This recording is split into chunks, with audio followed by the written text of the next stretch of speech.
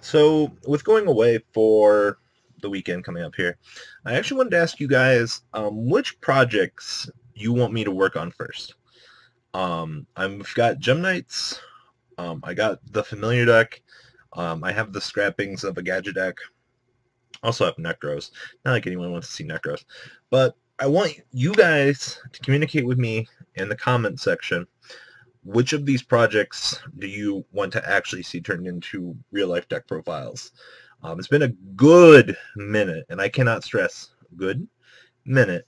Um, as for an actual, you know, deck profile, um, and with actually getting a little bit more time to play test things, um, playing a little bit more in real life now, um, I'm starting to get the time and want to play.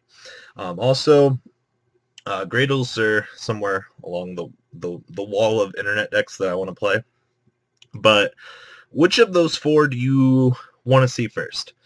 Um, and now is your time to communicate. So leave a comment down below. Um, there's a couple of other projects I would like to do as well. Um, this is where you guys, you know, queue in. Leave a comment down below with some of the other stuff that you guys want to see aside from those deck list. Um, do keep in mind that I don't have as much as I used to.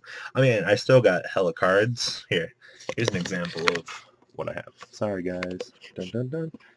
Uh, all of this and stuff over here, but I mean, like, this stuff is like Vanguard, uh, boxes, stuff like that. So, but, once again, though, the point is, though, there's projects and things that I know people are always requesting.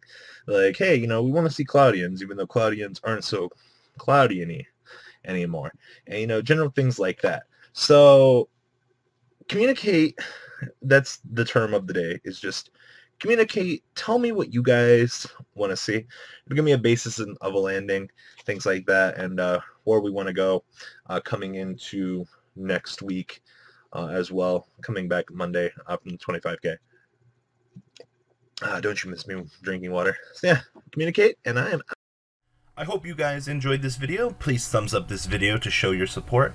And please check out VanKohl40 for Cardfight Vanguard, MKohl Games for miscellaneous trading card games, and No Limit Gaming for a brand new series of Yu-Gi-Oh videos. Thanks for watching.